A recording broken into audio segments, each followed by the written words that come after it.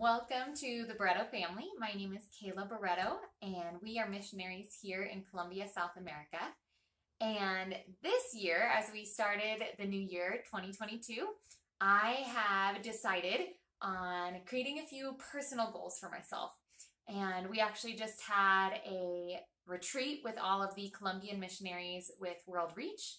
And on that retreat, we talked about some of our vision for this upcoming year, um, some of our goals in terms of ministry, and we kind of challenged ourselves as a team to pray over those goals, to pray over what God might have in store for us, what God might be planning for us in this upcoming year as a ministry.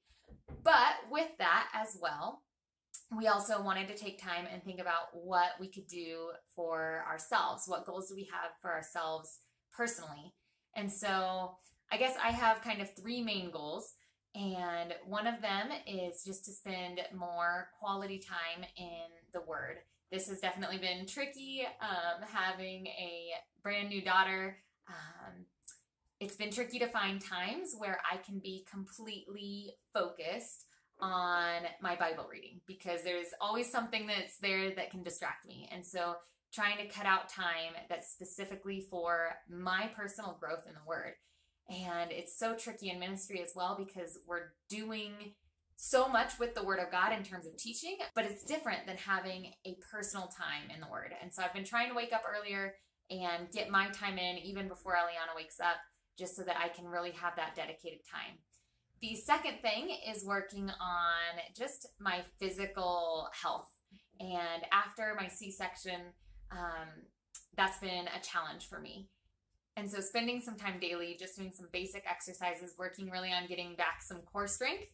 Um, and I've actually reached out to a pastor's wife in the United States who's going to help me a little bit, hopefully, um, with some ideas, just because that's one area that, unfortunately, after that C section, I am back down to, I guess, my normal weight, my normal lifestyle, but I just haven't been able to get core strength back. And so, Bible reading, core strength, and then my third thing, and this is, I think, the most challenging for me, is I have challenged myself, and I want you guys to keep me accountable. I have challenged myself to read one book a month. And I know that doesn't sound like a lot, but I am not a reader whatsoever. I don't enjoy reading. It's more of a chore to me. Um, I was always that kid in school that put off the book report until the very last night. And praise God, I had a very loving mother who would stay up and read me the books so that I could do my report. But I'm just not a reader. But this year, I really felt it necessary. Um, like I said, we have a new kid, we're planting a church. There's just so much going on that I really want to grow personally. And I think one of the ways that I can grow and really focus on that growth is by reading. And so for January, I did, I succeeded. I'm so excited. I read a book in January. And that's one more book than I think I read last year. It's fine. But the book I read in January is called How to Plant and Grow Strong Churches Through the Inductive Bible Study Method. And so it's by David Lawson. It's one of the Precept Ministry books. Um, and it's a short book. I started out nice and easy for January. But what I liked about this is that it applies to what we're doing. So, my husband and I are planting a church. We're working on planting a church in Bosa, which is a neighborhood here in Bogota.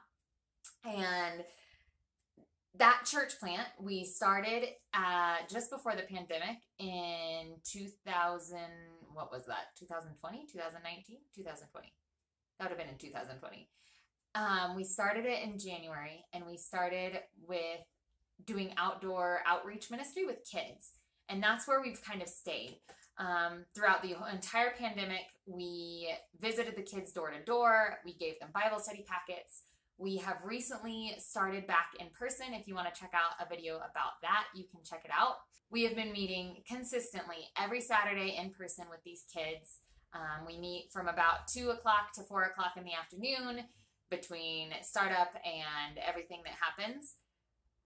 And now we're really wanting to go deeper, mostly with the adults now. So we're going to keep doing that kids ministry Um, we actually use quite a bit of the inductive Bible study method with our kids' packets, especially with the older kids, the ones that are over the age of 11.